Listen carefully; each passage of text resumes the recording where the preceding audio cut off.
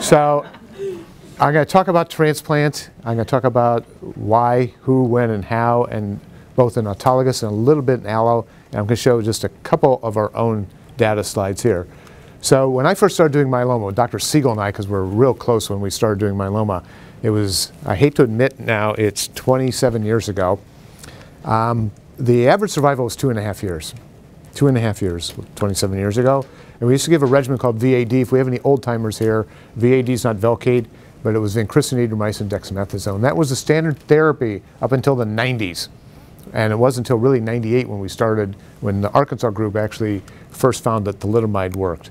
But we did know before that, our mentor, because Dr. Siegel and I both worked in Arkansas, uh, came up with the idea that we could take patients with refractory disease, give them high dose of IV melphalan, not oral melphalan. Dr. Suzanne was talking about for um, amyloid, they give oral melphalan, but IV melphalan at high doses could overcome resistance, and sure enough, it could. So they decided to move that into the upfront setting. Give patients high-dose melphalan. It's not a true transplant. Most of what we talk about is really a rescue operation because the melphalan is non-discriminatory. It's not current. Everything now is targeted therapy, right, or genomic based. Melphalan just kills indiscriminately. Wipes out the marrow. We have to rescue the patients. We give them back their own. At that time, it was bone marrow. Now we essentially only use stem cells. So up until the 1990s, no one had a better regimen than plain oral melphalan. This is the first trial. It was published way back in 1996 where they looked at high-dose therapy versus conventional therapy. It was a French trial. They found the high-dose therapy group did better. So since 1996, this has been considered standard of care for patients with myeloma. Current treatment uh, paradigms. Initial therapy, which I'm not going to talk about, someone else is going to talk about, and then consolidation. Transplant's really consolidating the initial therapy. With current treatment regimens, essentially everyone responds. There are exceptions. Um, we do this all the time, but essentially everyone responds to initial therapy. We consolidate them with uh, a transplant, and then you may want to give either post-transplant therapy or maintenance therapy. Different issue. That's for patients who are going to get transplanted. Patients who did not get transplanted get initial therapy and they stay on therapy. Current modality and treatment algorithms for myeloma is you never stop treatment for their entire lives. That's the current approach besides our center because we don't believe in maintenance therapy. Everywhere else in the world, you give initial therapy, you stay on drugs, whatever they need, but forever. When one drug set doesn't work, you switch to another drug set. No drug holidays for patients with myeloma. And then when they relapse, somebody else is going to talk about what we can do at relapse. So why, what do we do? For younger patients, almost all of them get three drug regimens. An immunomodulatory drug, we're, we're kind of out of sequence here, but an immunomodulatory drug, a proteasome inhibitor, and the dreaded corticosteroids dexamethasone. So this is the current standard for anyone in, throughout the world getting a, a transplant. And then they're everywhere except for our center, which I'm going to talk about briefly, usually puts patients on therapy after transplant. We don't, we want, so the questions arise, should you keep torturing patients before the transplant, give them various regimens to get them in a, the best response, or just transplant them, or should you just transplant them with whatever response you get with? And then there's this issue of depth of response. Current, current uh, goal, the surrogate marker right now which has not been well documented in prospective randomized trials, is minimal residual disease. This is true for myeloma, it's true for ALL, it's true for CLL, it's true for everything about minimal residual disease. So when you look at the different uh, induction regimens, these are category one by the NCCN. No insurance company in the world will give you any hassle about these regimens because they're approved. No one uses bortezomib, doxorubicin, dex, Doxorubicin, some in Europe do, but no one in the United States use this. It's usually RD, lenalidomide dex, lenalidomide vel, uh, bortezomib dex, or one of the things that's, although it's a category 2A in the NCCN, is carfilzomib lenalidomide dex. But for the most part, something like 60 to 70% of the patients in the US get RVD. There's an increasing use of KRD, even though these two have not been compared directly in a head-to-head -head competition. When you look at the response rates for these various alphabet soups of drugs, If you look at the blue line, the overall response rates are essentially approaching 100%. The drug regimens, regardless of which one you use, has an excellent response rate. So how do you differentiate between one and the other? Again, someone else is probably going to deal with frontline therapy, but you look at the depth of response. So VGPR is a 90% improvement in their paraproteins, and the VGPR rates do differ some with the different regimens. And then there's the complete remission rates. And the complete remissions rates, this is cyclophosphamide, bortezomib, dex, not carfilzomib. The complete response rates of over 40% with RVD. I need to add the KRD line over here because the complete response rates are up here in the 50 to 60% range with KRD without a transplant.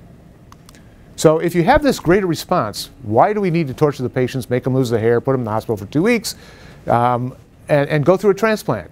Can we just leave them alone and say, we've really achieved a good thing, they're in complete remission, why should we bother? Patients don't want to do it, the insurance companies don't want to do it, the insurance companies probably do want to do it because it's cheaper than doing regular therapy. And we need to figure out, should we bother transplanting these patients? So let's give you the data. I'm going to show you at least three trials. This is an older trial, older being 2014, New England Journal of Medicine trial. It's done in Italy. They gave lenalidomide dex, and then they randomized the patients to a regimen we never use in the US, which is lenalidomide oral melphalan and prednisone versus tandem transplant. So non-transplant, transplant. Then there was a second randomization to maintenance or no maintenance. So we're trying to answer the question here, should you have a transplant or not? Now, one of the, one of the criticisms of this study is it doesn't contain a, a proteasome inhibitor. There's no bortezomib or carfilzomib in this regimen. So that's one of the problems with this trial, looking at it retrospectively. Bottom line, I'm not going to bore you with all this, is the group that had the transplant and the maintenance group, and maintenance did best. Second best group of the group that had the transplant without the maintenance, and the MPR, the, not the consolidation group, lost. When they looked at overall survival, there was a trend to an improvement with the transplant and the maintenance group. That's the first trial. This is a trial that was presented at last ASH meeting. This is a big trial. It's a U.S.-French trial. All they showed so far is the U.S. data. The U.S. trial has not met accrual yet. So it's 700 in France, 700 in the U.S. This is just the French part of the trial. There's a little bit difference in the trial design. We have everyone gets three cycles and everyone gets their stem cells collected after three cycles. Both groups do. Because this is really meant to be an early versus late transplant trial, not transplant versus no transplant. Previous one was transplant versus no transplant. This is early versus late. Everyone gets their stem cells collected. This group gets one transplant. They get consolidation with RVD, and then they get lenalidomide maintenance. This group gets their cells collected here. They get eight, another five cycles of RVD and lenalidomide maintenance. So they want to look at RVD versus transplant in this comparison. The difference between the US trial and the French trial, this part's the same. The, US, the French think that you can't have more than 12 months of lenalidomide. The US trial is lenalidomide till progression.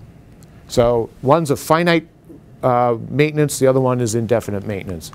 This is the data that was the preliminary data shows that the progression-free survival at four years was superior with a hazard ratio of 0.69. So the transplant group beat the non-transplant group Overall response rates are the same. The very good response rates were better. Second primary malignancies, which I'm going to talk about a little bit, were a, a hair higher in the group that got the transplant versus those that didn't, but wasn't statistically significant at this point in time. Let's skip that. This is a trial that's presented at ASCO. It's, it's actually quite convoluted. It's a European uh, Dutch trial. Where's our man over there? trying to stay awake. It's a European Dutch trial where they gave actually all the elements you'd want, but they gave them in a different sequence. Um, they gave melphalan, prednisone, bortezomib versus Cybord D, which uh, Suzanne talked about that they use for amyloid. It also works, you know, they learned from the myeloma experience. So they get Cybord-D, and then this group gets a transplant, one or two cycles. It was dependent on the, on the institution. They could decide one or two. It's not part of the randomization. Then they get either consolidation or no consolidation. So they get a proteasome inhibitor here, proteasome inhibitor here, and then consolidation they get with or without an immunomodulatory drug. And then they all go on lenalidomide maintenance. So they have, again, transplant versus no transplant. Both groups have a proteasome inhibitor, both groups have an immunomodulatory drug. This is the breakdown. It's, it's, it's actually not of interest. It's a large study. It's 1,200 patients. I still can't quite understand their high risk definitions here, which are higher than we normally see. What they found was that the group that got the transplant had a superior progression-free survival, superior progression-free survival at three years, and this was statistically significant with a hazard ratio of 0.73. Transplant beat the non-transplant group. When they looked at the group that had high-risk cytogenetics, which is a large proportion of their patients, higher than we normally see, the group that got the transplant did better than the group that didn't do the transplant. Say, when they looked at a actually multivariate analysis, this is a no-brainer. People that get deeper responses have better outcomes. People with standard risk cytogenetics have better outcomes. These are all expected. The group that had the transplant hazard ratio overall was 0.54. So 46% improvement in progression-free survival in the group that had the transplant. So there, there's actually another trial that I didn't show you that's also kind of a contorted trial. So there's four trials of transplant versus no transplant. All of them show a progression-free survival advantage. The older two trials, the original Italian trial showed you, this is another European trial, actually showing improvement in overall survival transplant versus no transplant. Okay? So if you're not convinced, we have to wait till we see further data on both these trials. These are all preliminary data on the ASH and the ASCO trials. So if one transplant's good, two trans is better. So again, this was pioneered in the Arkansas group, and the idea was similar to the philosophy with AML. If you have a patient with AML, you give them induction therapy and you give them four cycles of consolidation. Why? They're already in remission after the first cycle of induction because we know they have residual disease. So if you use that concept in myeloma, we know we don't cure them. Well, we should do more than one transplant, you can kill more disease. So this was pioneered, the Arkansas group was not randomized. Everyone we, everyone we saw got two transplants, but there were trials that were done in Europe and France where they looked at one versus two. And when they did the one versus two, they found in the French and the European trials that if you didn't get a complete remission, those were the patients who had the better outcome with the second transplant. So everyone was doing second transplants for a while. If they didn't get a good response, and then maintenance therapy got thrown into the mix, made it even more confusing. So there there is data on one versus two with modern therapy. The trials I alluded to were started in 1994 and 1996. These were ancient trials in this day and age, this one versus two. So do we have modern trials looking at the same question, one versus two? This is that same trial I just showed you, the European trial with the consolidation versus no, uh, versus no consolidation. And this was a group that got two transplants, one transplant, and the ones that didn't get the transplants, and in a non-randomized fashion. The group that got two transplants had a superior outcome in the preliminary data analysis. There is a large U.S. trial that I'm on the steering committee. This, I almost certain is going to be presented at ASH this year. Two trials, two, two transplants followed by maintenance, one transplant consolidation, maintenance, or one transplant alone. We're hopefully going to look at this and come up with the answer whether you need two transplants or not. Can consolidation substitute for a transplant? ASH, look for it. Maintenance therapy. This is the NCCN guidelines. Lenalidomide and thalidomide, no one, I think even in the, in the US or Europe anymore, uses thalidomide mainly because of neuropathy. I'm not sure that thalidomide's an inferior drug. In fact, the data with thalidomide maintenance is actually quite good, except that toxicity is so high patients can't stay on it very long because of toxicities. There is category 2A. I'm going to show you some data on bortezomib.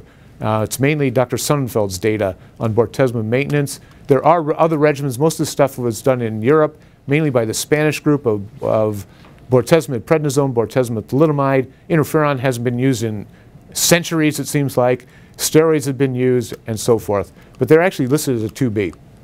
Do we know if the response rate and duration of response on salvage is impacted by having a transplant before or maintenance? So this most of the salvage transplant data that's out there was was reported before people were routinely using maintenance. So I can't answer that. We don't have a whole lot of new data since maintenance became standard and then looked at second transplants. There's not a lot of information on that. In fact, there's only one randomized trial of maintenance versus, I mean, of transplant versus standard therapy. It was published by um, the UK group where they either gave a transplant or cytoxin, Transplant group one. But those patients didn't get maintenance before that with lenalidomide, which is what we're using now. So I can't answer that question. So this is thalidomide.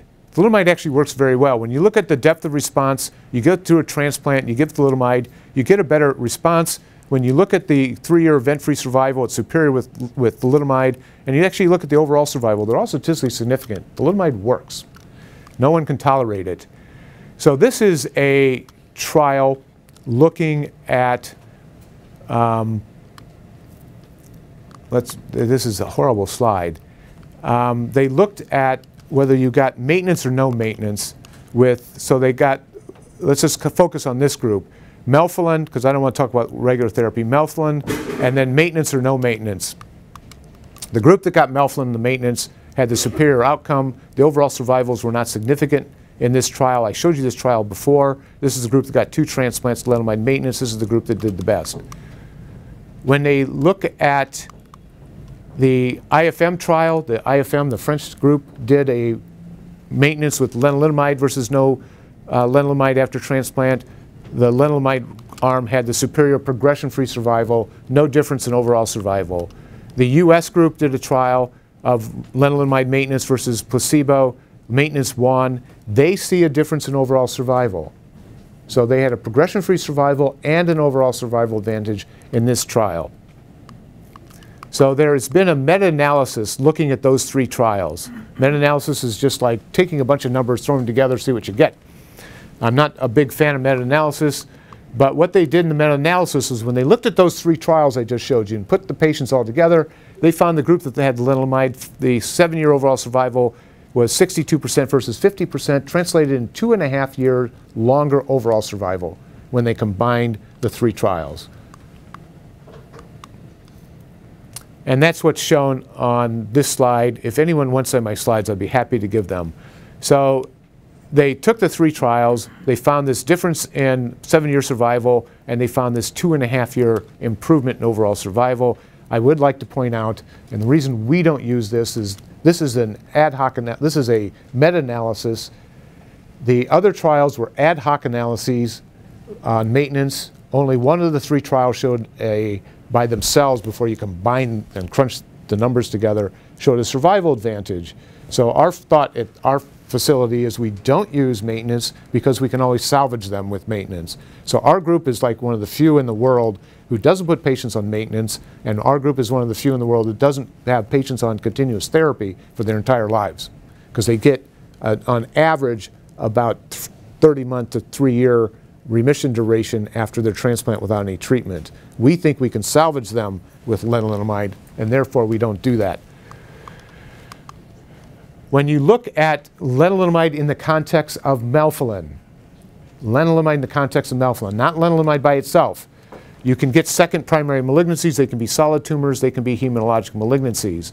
So when you look at lenalidomide with melphalan, you can see in this one, lenalidomide melphalan, solid tumor incidence is 4.4 at five years, hematologic malignancy is 3.9. If you don't have any lenalidomide, it's the, the underlying risk is 3.4, 1.4. There's no doubt that when you give lenalidomide in the context of melphalan, sometime within the, you know, most of the maintenance start within two to three months, that there's an increase in second malignancies. There's no doubt about it. It's small, but it's there.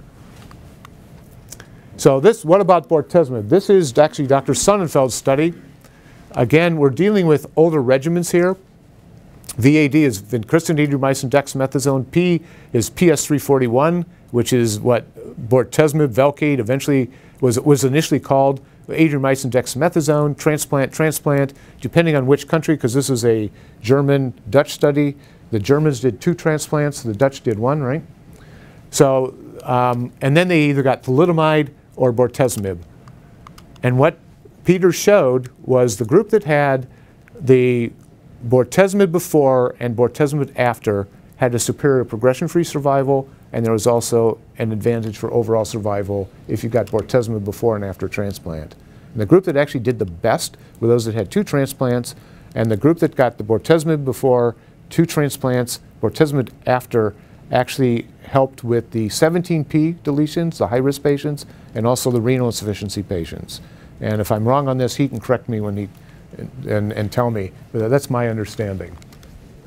Perfect, good. So there's another trial where they actually did, it, it, another trial from Europe. It's only been reported in abstract form at ASCO, where they looked at bortezomib versus observation. So the other one is bortezomib versus thalidomide. This is bortezomib versus observation. These are the slides. They found that yes, bortezomib did provide a longer remission duration. It was six months. And overall survival was not different between the two groups. So this trial did again showed bortezomib as a superior PFS, but it was only a six-month improvement. This, again, if you go back, they only got four cycles of bortezomib for con consolidation or maintenance, whatever you want to call it.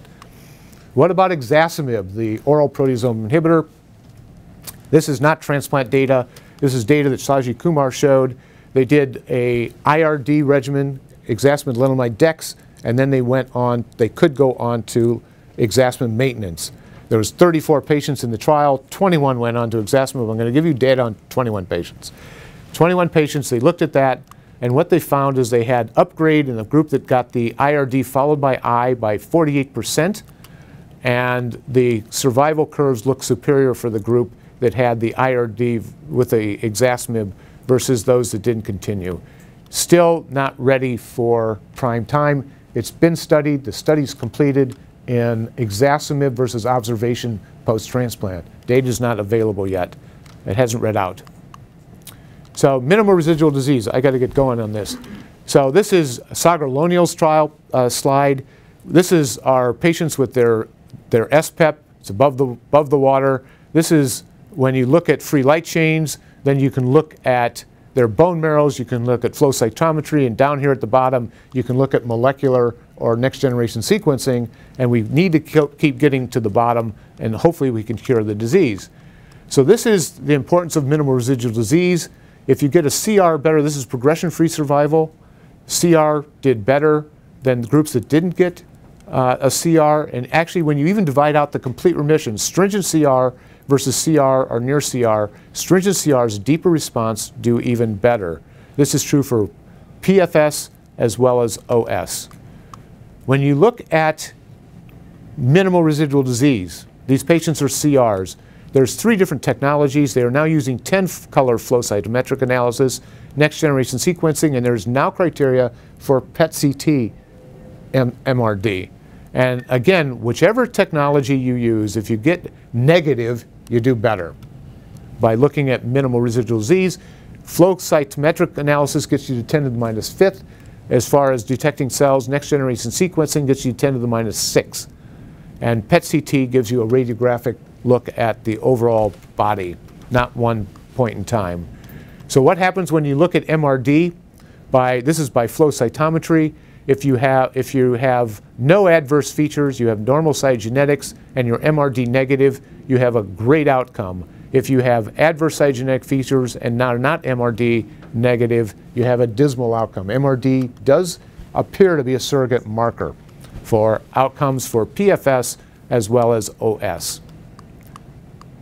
I want to show you a non-randomized trial. Very impressive data. These are two trials. They were done sequentially. They weren't not done at the same time.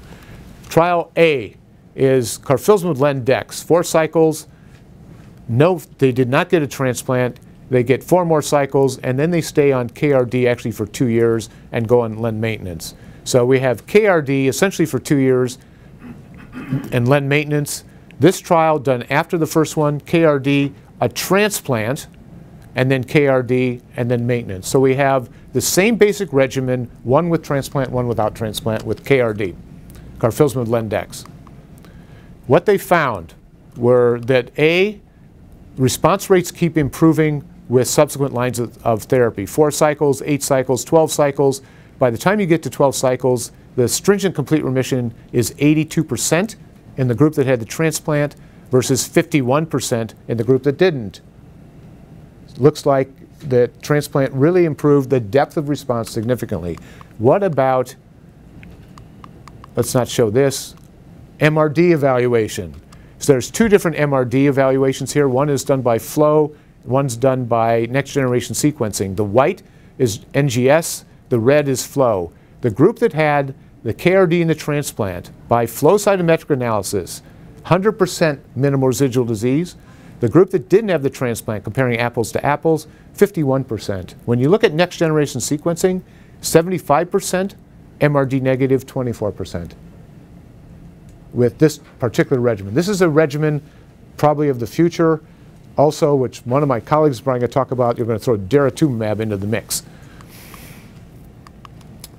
So MRD at this point is still not, it's a, it's a desired endpoint, but we still haven't looked at if you're MRD negative, do you need to do anything? Very important point. So we got rid of their disease, they're MRD negative, do you leave them alone, do you keep treating them? We don't know. Trials are being done to look at that. Should you keep pounding patients to get them to MRD negative and use up everything you have, and then you don't have anything left after that? We don't know. This is really, it, it looks great when I show you the progression-free survival and overall survival. We're not really sure what to do with it till we have prospective trials to actually answer that question. Allogeneic transplant, high response rates. There's a graft versus myeloma effect. There's absolutely a graft versus myeloma effect has a mortality in the 10 to 20% range. Using an autologous transplant, the mortality rate's less than 1% if you're under 70.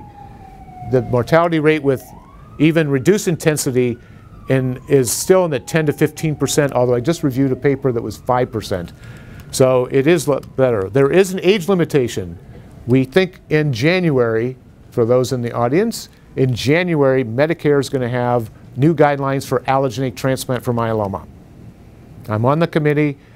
We, the government's already said, yes, we had to come up with a protocol. It's going to happen, that we're going to be able to transplant Medicare patients. We can't right now because of sibling limitation, particularly in the older patients. We now have haploidentical transplants. Haploidentical transplants, almost everyone has a kid, a, a sibling, or a parent. It's something like 80 some percent have one of those options that you could use as a potential donor. Opens up for not only myeloma, but for a lot of other diseases of having donors using a half match. There is probably, based on older data, a plateau in the 20 to 25% range that we probably are curing with this disease. This is a trial that was done, actually started in 2002. It's an 0102, 2002. It was a tandem transplant versus a auto transplant followed by an allo transplant.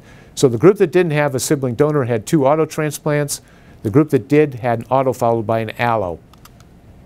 Large trial, 430 patients this group, 190 patients this group. We didn't see any difference in outcomes in the US trial. Part of the problem was we used an inferior transplant regimen. They just got single dose total body radiation. No one does that anymore. Auto-auto for progression-free survival is identical. Overall survival was also identical. I just saw a week ago the eight-year follow-up data looks exactly the same. Even with a high-risk patient? Even with a high-risk patient at eight years, it's not been published. Um, but at the meeting I was at a uh, week, uh, week ago, they showed me the eight-year follow-up data. It's identical, the two arms. But, because I want to show you this, patients that had graft versus host disease when they looked at their outcomes, the group that had chronic graft versus host disease had a lower relapse rate in this trial. It was a trend because there wasn't statistically wasn't enough patients. In contrast, the Europeans did almost the same trial. Not identical, almost the same trial. They showed a marked difference in the group that had auto-allo, that that auto-allo on won. And it wasn't just a little bit they won hands down. When they looked at the group who was progression-free survival at 96 months, it's 22% versus 12%. When they looked at a group who were alive, 50% versus 36% at 96 months. That the auto-allo group won. So how do you read the difference? We don't know. No one knows the difference. Of what, no one can explain this. I don't know why the difference is. I don't know why there's a difference. Has there ever, has there been any long-term follow-up in terms of high-risk no. disease in the European trial? No, but I can tell you in the U.S. trial, because I unpublished, data not being presented, so it's not embargoed, there was no difference in that trial. Um, Example, patients who are 17P are, are, are not very common in myeloma. Part of, part of the reason was that the, that the high, the definition of high risk changed from the time they did that trial to now. So that makes it complicated. And they're Pete- underrepresented in the, in the EBMT analysis. There's not a lot of high-risk populations. So, I mean, when the US trial was done, we didn't know about 17P, just for example. So their definition of high risk was 13 by karyotype and high beta 2. The, our, our concept of what's high risk has evolved over time as we learn more. This is our data from Hackensack, 118 patients. This is our overall survival at, of 118 patients with a six-year follow-up, and our overall survival is approaching 70% in patients who are transplanted as consolidation up front, and even salvage patients have about a 40% overall survival at six years. This is, this is, this is actually very impressive data for, for the whole group. The group that had chronic GVHD had a superior outcome to the group that didn't have chronic GVHD. So our survival curves actually look good, and chronic GVHD is actually a horrible thing to have to mess with, but the patients did better if they had chronic GVHD. There is an ongoing US trial for high, high risk patients. They get flumelval, uh, fludarabine, melphalan, bortezomib, and then there's maintenance to see if we can prevent relapse with ixazomib, the oral proteasome inhibitor versus placebo. There's 21 patients enrolled. There was a stop put in because we had two unexpected early deaths. It's going to open up again in the ne- next month. Briefly, I don't have time to do this. CAR T cells.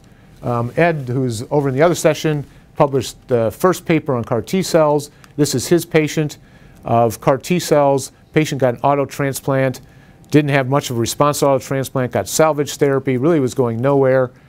Disease came back, gave high dose cyclophosphamide.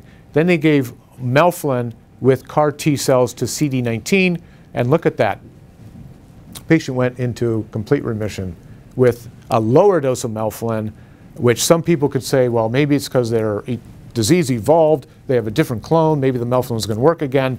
It's possible, um, not probable, but it really looks like the CAR T cells to CD19 works. The problem with CAR T cells CD19 is myeloma patients only about 20, 20% of them express CD19? Less than that. So it's not a really good target. So BCMA is supposedly, and my research team is here, supposedly expressed on all myeloma cells, um, which is apparently not the case, or at least not high levels of it. This is an abstract by Kochenderfer, who presented it at ASCO, of giving a different target for the CAR T cells using the B cell maturation antigen and they gave a non-ablative regimen. They gave the CAR T cells, different loading doses of phase one trial, and you can see here that they did get some responses. This is without myeloma therapy. That's just immunosuppressive therapy, and they got some complete responses with this regimen. They were not particularly durable. All but one of the patients who responded has relapsed within a year, but they did get responses. So, in conclusion, auto transplant standard care, superior to conventional therapy. Send your patients for auto transplant. Um, maintenance therapy, the multivariate analysis shows an improvement. I'm not sure I believe in the multivariate analysis, um, but most centers are using this, even though we do not have that philosophy. Future of the world is going to be KRD and DARA. No data on it yet. It's on- ongoing trials. Daratumumab, which one of my colleagues is going to talk about, the anti-CD38. Early transplant is superior to late transplant. We should try to get MRD, but no one really knows how to get there or what we do with it once we get there. And allogeneic transplants remain investigational, but potentially are curative. And we think we project 20 to 30% of the patients. That's it. Questions? Or do I have time? Sorry if I missed it, David, the patient who achieved very early CR, I don't know how early you checked that, but early CR do not um, benefit less from the auto transplant than the patient who So I, I- don't know if that anyone's ever updated that data, and we've got a bunch of people here maybe help to answer that question. We used to think the patients who responded fast were the ones that actually relapsed fast too, but I don't know if that's really true anymore. But there was one paper, it's actually from Arkansas, I think, that showed the fast responders actually had a poorer outcome. I, I don't know that that ever held up in any other trials. I mean, part, part of that was a self-fulfilling uh, uh, philosophy, because they, they were looking at, uh, at responses post-transplant. So obviously, if you continue to demonstrate a slow response for, for six months after your transplant, that's six months in which you can't relapse. So you have to do a landmark analysis, which they never did. So part of it is just the, the, you know, the statistical trick of, of, of looking at it that way. Peter? Well, There has been a meta-analysis of four large European trials, all uh, in the frontline setting, uh, borte- comparison bortezomib and no bortezomib. In that analysis, more than 1,800 patients, done by Dr. Cavo from Italy, less than CR before transplant is an unfavorable prognostic factor. That the CR before transplant is much stronger predictor than CR after transplant for long-term outcome. Right. In that same analysis. Thank you. Other questions? Thank you.